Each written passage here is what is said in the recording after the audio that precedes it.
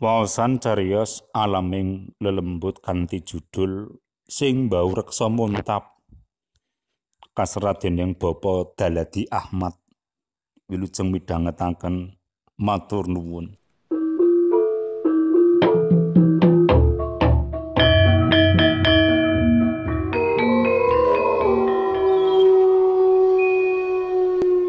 Gugus depan ing sekolahanku ngadani kegiatan kemah ujian akhir kanggo adik-adik pramuka sing dileksanani ing akhir tahun pelajaran. Sadurunge kemah, aku lan kanca-kanca pembina ngadani musyawarah perlu ngrembug samubarange murih kegiatan kuwi bisa kaleksanan kanthi rancak. Salah sijine yaiku nemtokake lokasine kemah. Wusanane kabeh padha sarembug dianakake ana bumi perkemahan tlatah Sleman. Tetimbangane papane jembar, resik lan edum merga akeh wit-witan gedhe. Banyune uga gampang. Kepara turah-turah. Ing sisih kidul ana blumbangan gedhe sing diingoni iwak werna-werna. Sawetane blumbang ana watu-watu gedhe pating jenggelek. Ya lumrah merga ing papan kono iku biyen pancen tau diliwati ladu utawa lahar saka gunung Merapi. Kegiatan ing dina sepisanan lumaku kanthi lancar. Bocah-bocah katon gumbira. Sajake uga ora ngrasakake kesel merga kegiatane isih sing enteng-enteng.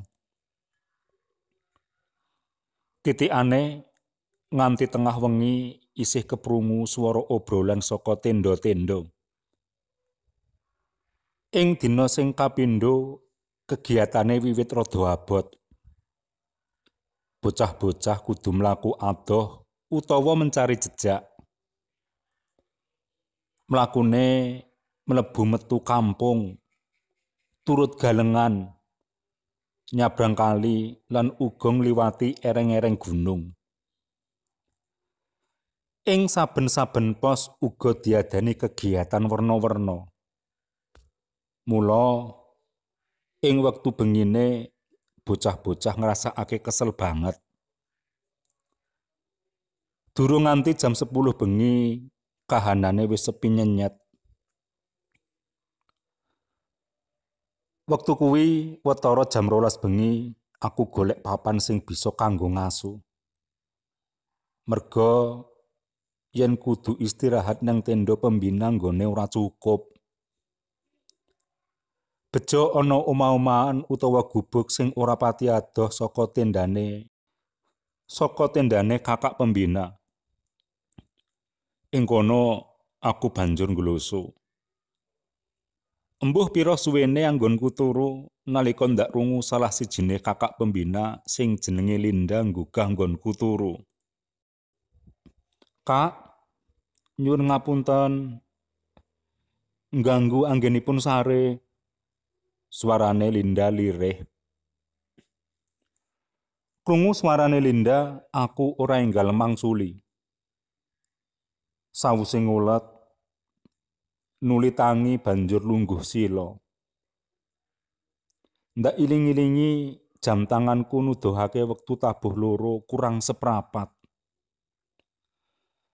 Ana apa? Pitakonku karo ngucek-ucek meripat sing isih rada blawur.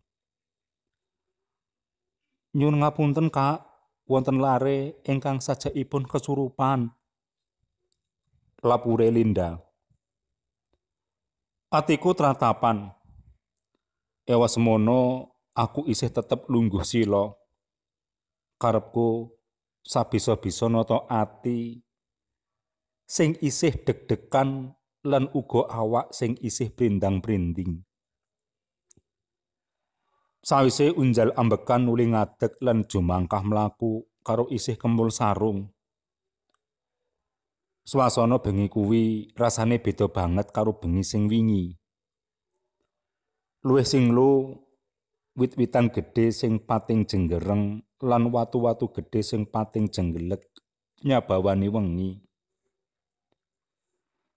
Nalika aku tekan tendane murid sing kesurupan kuwi, wulu githokku mengkirik.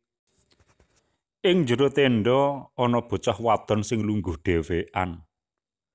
Jenenge Sabila Saraswati. Undang-undangane Sasa. Panyawange Sasa kaya adoh banget nanging katon suwung. Untune geget kaya wong ngempet nesu. Tangane ngepel kenceng. Sasa, iki aku Kak Jamari. Sasa ngerti karo aku to? Aku nyoba ngajak guneman. Dheweke ora reaksi apa-apa. Sasa? Sasa? Aku ngundang jenengmu. Kowe rak Sasa to? Iki aku Kak Jamari. Aku ngajak omong karo kowe Sasa. Aku mbaleni ngucap. Karepku kanthi bola-bali nyebut jenenge mbok menawa Sasa banjur dadi eling. Nanging nyatane babar pisan ora ana tanda-tanda Sasa eling. Sasa banjur ndak tuntun metu saka tenda. Bocahe manut wae. sanadyan cetha menawa dheweke ora sadar apa sing lagi ditindakake. Mula banjur tak bacotake nuntun sasa mlaku alon-alon nuju tenda pembina karben kanca kancane ora keganggu oleh turu.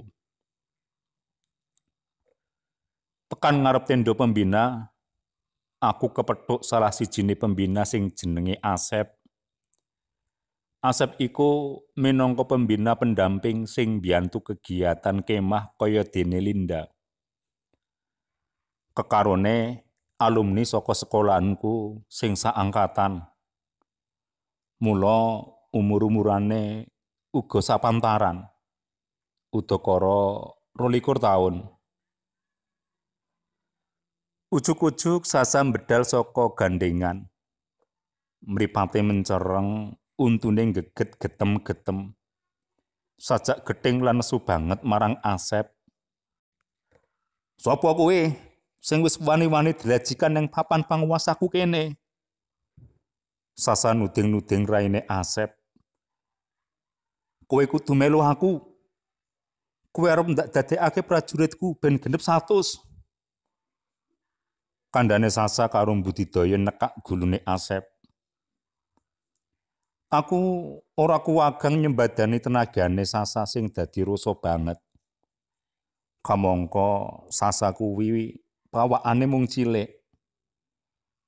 Untunge wae Sasa durung nganti kasil nyandak gulune Asep. Mergo Asep kanthi cukat nangkis lan ngipatake tangane Sasa. Piye? Rumangsamu aku wedi po? Semaure Asep emoh kalah. Keporo mripate meru dadi mencereng nesu. Atiku ciyut nyipati kedadian sing mengkono kuwi. Umpama bocah loro kuwi dadi gelut temenan, embuh kaya ngapa kedadiane. Saklebatan ing nalarku merentul pamikiran menawa bocah loro kuwi kudu ora kena ketemu utawa cedhak-cedhakan. Aku ngerti banget watake Asep sing pancen ora duwe rasa wedi ing kahanan kepiye wae uga marang sapa wae. Mula ndak jaluk supaya Asep ngedoh saka tenda pembina. Asep ora wangsulan mung ngleser lunga karo isih nesu. Sasa nuli ndak lungguhake ning tenda pembina.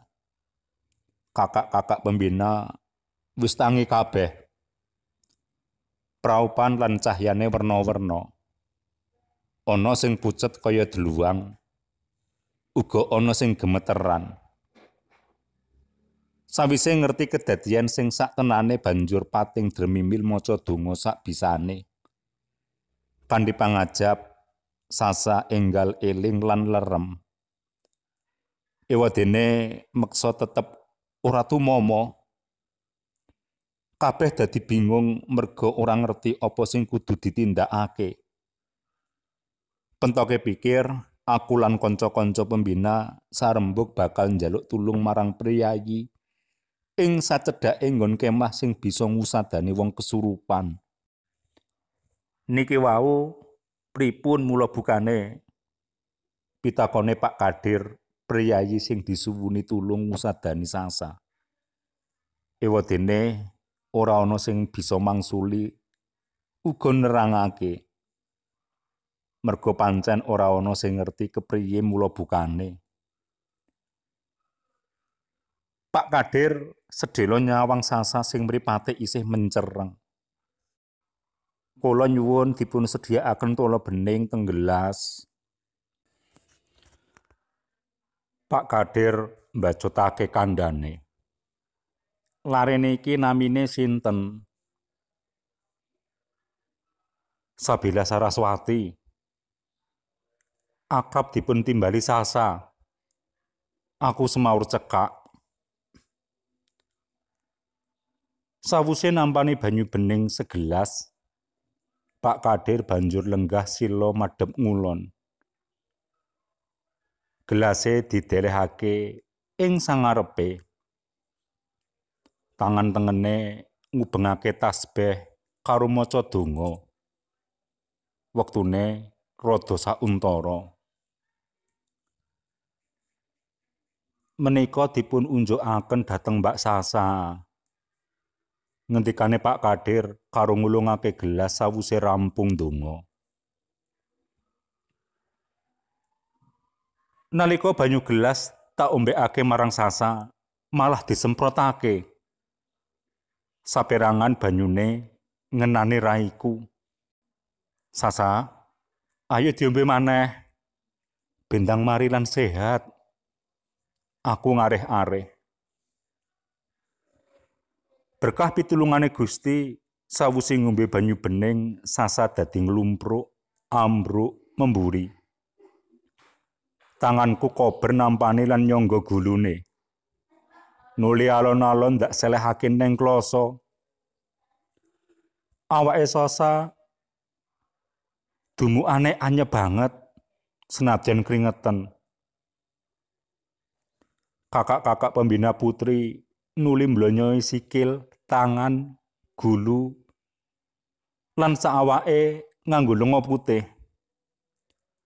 Ora wetara suwe, sasa wis merem.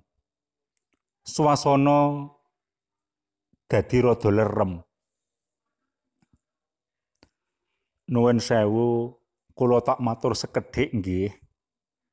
Ngendikane Pak Kadir medhot sepine wengi sing tintrim. Sejatosipun Mbak Sasan iku namung dipun sambut raganipun dening sing mbau reksa papan ngriki. Sing mbau reksa ngriki niki gadah prajurit cacahe sangang dosa songo. Manggene teng Sela Ageng wetan Blumbang nika. Sasa mboten badhe kesurupan menawi mboten wonten sing ganggu damel sela wageng nika. Kandhane Pak Kadir.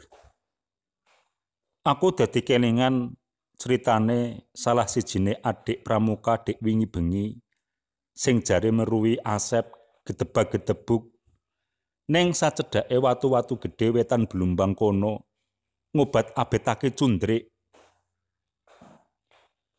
Nalika adik pramuka kuwi tak takoni ngopo asep kok gedebukan ing papan kono karo ngobat-abatake cundrik dheweke uga ora ngerti. Apa kuwi sing dadekake muntape sing mbau reksa papan kene? Mula asep arep didadekake prajurit kanggo nambahi prajurite ben genep 100 upama kuwi nganti kedadian tenan apa ateges asap kudu aku guneng dhewe pitakon ning jero atiku dhewe Pun, kula tak nyuwun pamit rumiyin nggih. Ngendikane Pak Kadir njugarake panglamunku sing satemene durung puput.